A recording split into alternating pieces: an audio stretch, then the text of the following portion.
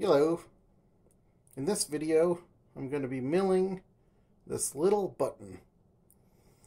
Being a circular part is obviously something you would do on a lathe if you had one, but I don't have a lathe, so I'm going to be doing it on my mill. I'm going to mill it out of this. This is a small piece of 7075 aluminum I got from McMaster-Carr. This is shorter than, you know, I think would be ideal, but I think it's long enough. To hold it, I'm going to be using this thing here. I'm sure you guys can basically see what it is, but it's an ER32 collet block.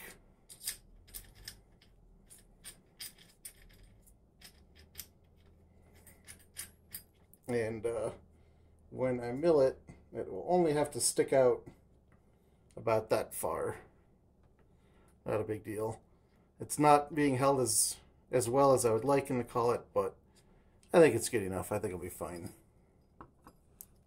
This video is going to be mostly a kind of check it out video. I don't think there's going to be a lot to learn, but I will go to the, the CAD and the cam right now and talk about it a little bit. After that, we'll actually, or I'll actually show the milling. Alrighty, so here is the button in Fusion 360. It's pretty simple. I don't want to take too much time on it, but I do want to explain a couple things just for, yeah, just in case anyone out there is wondering. So this is the part that you hold, you know, press with your finger. There are two grooves in it. There's one right here. This is for an O-ring, and this one here is for an E-clip. I actually have a uh, section analysis set up here so that we can get a better idea of what you know what the button's doing.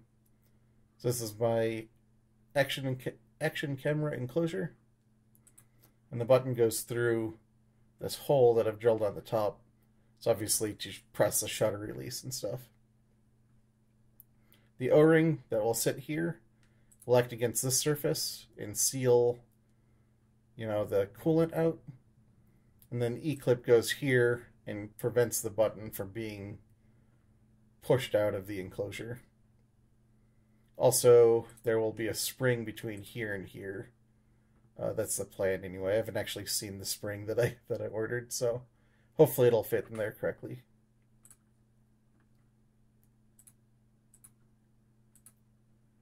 This O-ring gland right here will actually be rounded off because I'll be cutting this slot with a full radius slot cutter.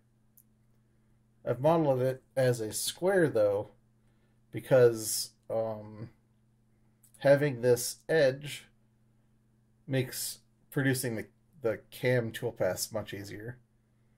If there's a full radius right here, I'd have no edge to select.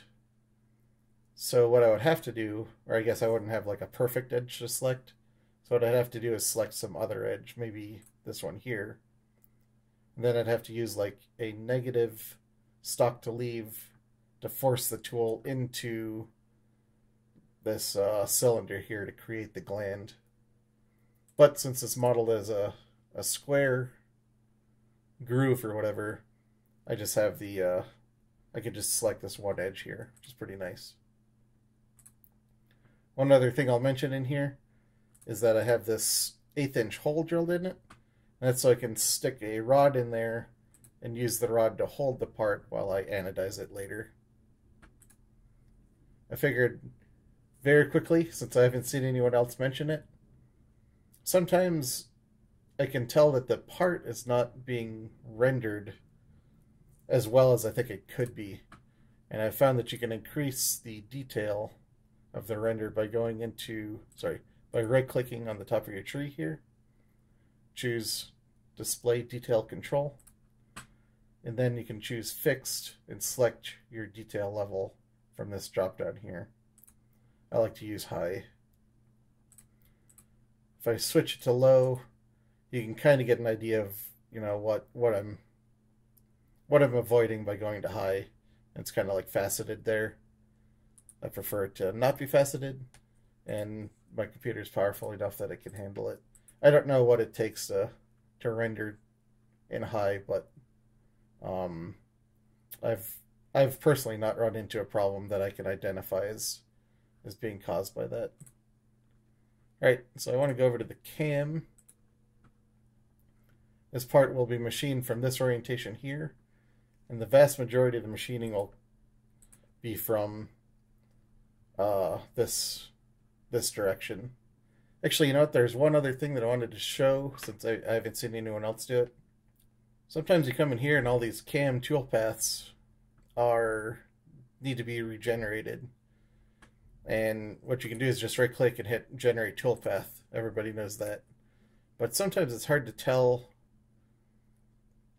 how far along in the regeneration it is. And sometimes you start working on something and then realize, oh, oops, it was still generating and uh, whatever. It's just a little annoying. So up in the manage toolbar, there's this thing here, the task manager. And if you open the task manager, it shows you the operations that it's currently generating.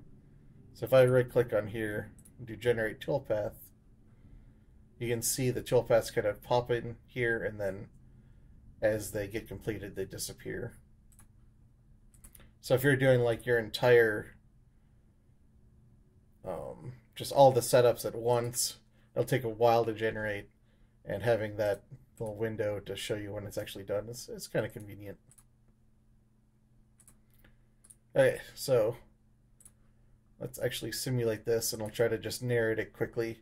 When I actually mill this, they'll be cooling all over, so it'll be hard to see. So check out the simulation now. So first it comes in and does a 3D adaptive clearing. This just roughs out the part and clears out almost all the stock. Faces the top, then finishes the side and floor here, and then the side of the that part of the button. Spot drill, eighth inch drill, thin T-slot cutter. That's for the E-clip. It's a full radius slot cutter for the O-ring gland. And then the remaining machining is chamfering. So I did these three edges first and I had to come in separately for this one. And that is uh, basically, in order to chamfer this edge, I had to make sure that the bottom of the tool did not gouge into here. That meant the tip of the tool was basically right about here.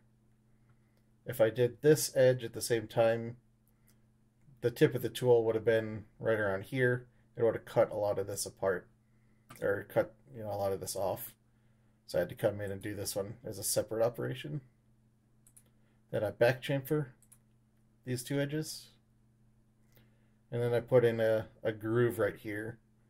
And that groove is basically just for visual reference when I cut the part in the bandsaw before doing the second side. The the groove here will, you know, let me know that I cannot, you know, I cannot cut beyond this point with the bandsaw. I think that's about it. Hopefully that wasn't too long, and I think the next thing you'll see is the machine actually milling.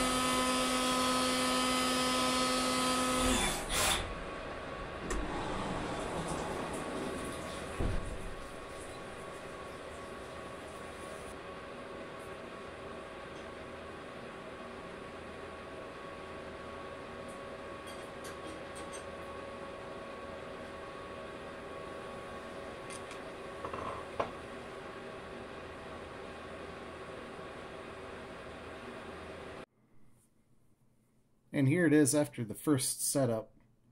As I mentioned, the machining in the first setup was almost all the machining. All that's left here was to cut off the excess stock with the bandsaw, flip the part over and stick it back in that collet holder, and then mill the top off. I attempted to record that, but I failed at that. Uh, part of the reason that I'm redesigning and remaking this button here. Here it is finished. I stuck the O-ring on there and the E-clip. Looks pretty good in my opinion. It is a tiny bit shorter. The top portion there is about 1.05 millimeters, and I was shooting for 1.15. Pretty close. Close enough for me. Alrighty, I'll see you guys later.